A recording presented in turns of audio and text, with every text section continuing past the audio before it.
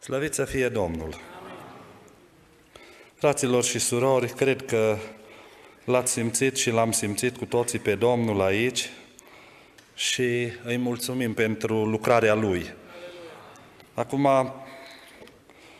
aș vrea așa, ca de încheiere, să aduc ceva din textul care a fost citit, un text frumos, deosebit, și să vorbesc cu dumneavoastră puțin din partea Domnului despre piața săracului, piața săracului.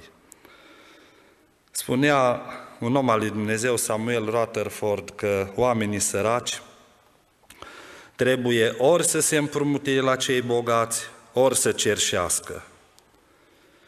Și în nevoie și lipsă extremă se descoperă bogăția lui Dumnezeu și aici este piața săracului. Textul acesta din Isaia 55 are legătură directă cu un alt text din Marcu, și vreau să vă citesc din Marcu și cred că s-a întâmplat literal lucrul acesta în seara aceasta, Marcu 6 cu 56. Ascultați! Oriunde intra el, în sate, în cetăți sau în cătune, puneau pe bolnavi pe piețe și îl rugau să le dea voie doar să se atingă de poalele hainei lui. Deci, fraților și surori, te duceai la piață și în loc să găsești zarzavaturi și fructe, găseai bolnavi. Mergeai să cumperi ceva de alegurii, găseai paralizați, găseai leproși, găseai oameni cu probleme și dacă îi întrebai ce se întâmplă acolo, spuneau, vine un cumpărător. E piața săracului. Dar ce cumpără cumpărătorul ăsta? Ăsta cumpără dureri, cumpără boli, cumpără necazuri, cumpără suferință și se cheamă Iisus Hristos. Și când apărea Hristos în piață, îi lua la fiecare. Ascultați ce spune versetul în continuare. Toți câți se atingeau de el erau tămăduiți. Slăvit să fie Domnul! Un astfel de cumpărător ne trebuie, fraților, și nouă și-l avem în cer la dreapta lui Dumnezeu. Și de aici, din uh, versetul 1, am extras patru lucruri și ultimul verset al cincilea lucru, și doar le punctez, pentru că vreau să facem și o rugăciune de mulțumire pentru seara aceasta. Primul lucru, la piața săracului există mare însetare, mare însetare. Voi toți cei însetați. Al doilea lucru. La piața săracului există o mare invitație. Voi toți cei însetați, veniți, veniți, veniți. Un al treilea lucru. În piața săracului există marele izvor. Voi toți cei însetați, veniți la ape, la ape. Este marele izvor aici. Slăvit să fie Domnul. Un al patrulea lucru. În piața sau pe piața săracului există o mare incapacitate. Voi toți cei însetați veniți la ape, chiar și cel ce n-are bani. Mare incapacitate. Veniți și cumpărați bucate, veniți și cumpărați vin și lapte, fără bani și fără plată. O mare incapacitate. Și al cincilea lucru, versetul 13. O mare încântare în locul spinului se va înălța chiparosul, în locul mărăcinilor va crește mirtul și lucrul acesta va fi o slavă pentru Domnul, un semn veșnic, nepieritor. Vedeți, Dumnezeu face așa de mari minuni, așa de mari minuni, E mare însetare și Dumnezeu onorează însetarea. Dacă păcătosul bea din ape otrăvite, în seara asta am văzut, ați fost însetați de Dumnezeu, v-ați rugat și cred că l-ați simțit pe Dumnezeu aproape, fraților. Și merită Dumnezeul acesta nostru să lăudăm pentru lucrurile astea. Biblia vorbește despre oameni însetați și însetarea o găsim la orice palier al vieții. Un copil însetat în Geneza. Stă aruncat sub un tufiș și plânge și Dumnezeu îl aude și răsplătește dorința asta de apă în setarea lui. Găsim un tânăr în judecători și ăsta, însetat și strigă către Dumnezeu și Dumnezeu deschide o stâncă. Găsim un om matur însetat, Psalmul 63, Dumnezeule pe tine te caut, îmi însetează sufletul, trupul, într-un pământ sec, uscat și fără apă, așa te privez eu în locașul tău cel sfânt și mai departe. Oamenii toți au în ei ascunsă setea aceasta de Dumnezeu. Dar așa cum s-a vorbit din partea lui Dumnezeu în seara asta, fraților, ar trebui eu, în dreptul meu, că mie mi-a vorbit Domnul prin Duhul Sfânt, în altă formă, prin cântare, prin cuvânt, mi-a vorbit Domnul, trebuie să stau în dreptul meu și să mă cercetez.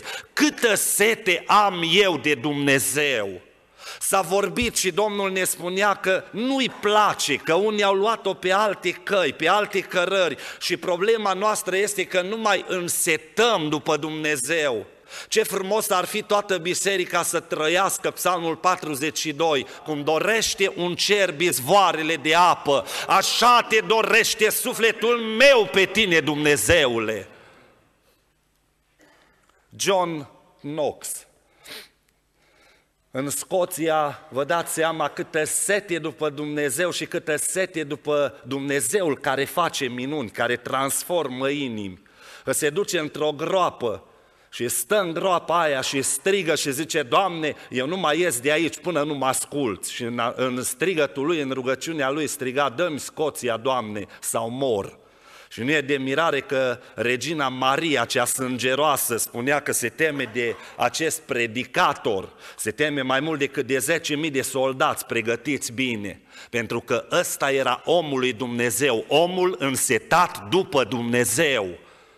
Și spune istoria de mulți oameni, John Fletcher, după ce a murit, secolul XVIII. După ce a murit, s-au dus și au găsit în odaie două scobituri, undeva în podea jos și peretele din fața celor două scobituri era pătat de la suflarea lui și de la lacrimile care i-au țâșnit în timp ce îl căuta pe Domnul. David Brainer, un misionar, un om al lui Dumnezeu, în America se ducea și se ruga în pădure și în pădure era zăpadă și când își termina rugăciunea pe o rază, așa pe un cerc în jurul lui, era topită zăpada. Atât a stat el și l-a căutat pe Dumnezeu pentru că avea sete după Dumnezeu. Tu ai sete după Dumnezeu. Doamne, dăruiește-ne setea aceasta sfântă după Tine invitație, cumpărat, spune aici. Cum să cumperi fără bani, Doamne? Asta e un paradox. Ne chem să cumpărăm, ce să cumpărăm? Păi Domnul ne spune ce ne dă, dar cum să cumpăr fără bani? Și Apocalipsa, capitolul 22 cu 17, clarifică. Cine vrea, nu dai bani, dai voință. Asta așteaptă Dumnezeu. Filozofii vorbesc și spun Dumnezeu dacă e tot puternic poate să creeze un bolovan ca să nu-l care el singur în spinare și râde Dumnezeu.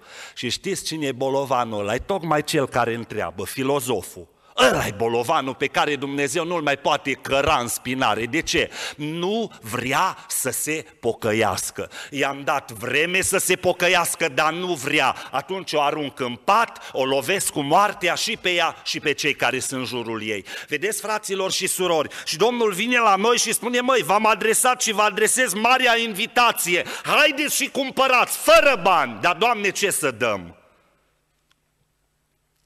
Să dați puțină voință, să vă dăruiți inima toată, zice Domnul. Și Doamne, ascultă-ne! În timpul rugăciunii am văzut că a coborât, a coborât de sus de la Domnul o pungă, așa cum erau pe vremuri pungile din piele, și o mână nevăzută scotea din punga asta câte un bănuț de aur și spunea, poftim, ia aurul credinței și dădea la unul și dădea la altul și scotea mai mult și dădea și dădea în stânga și în dreapta și m-am bucurat. Vedeți, fraților și surori, e piața săracului. Noi nu avem credință, dar are Dumnezeu cel credincios. Și El ne umple inimile de credință, slăvit să fie Domnul. Și am văzut și m-am bucurat mai mult când a fost rugăciunea pentru bolnavi. Un sol al cerului coborât în mijlocul nostru, avea o stea așa în spate aici, era o stea. Și din steaua asta porneau patru raze, porneau așa patru raze. Și când trecea în dreptul unora, cu o rază, era așa ca și uh, un fir alb, ca un fir de lumină, intra la nivelul minții și curățea tot, tot, tot, tot, tot. Și cu cealaltă rază, că era și în dreapta și în stânga, era așa, în mijlocul nostru, în dreapta și în stânga, cu cealaltă rază începea Domnul să cerceteze trupul.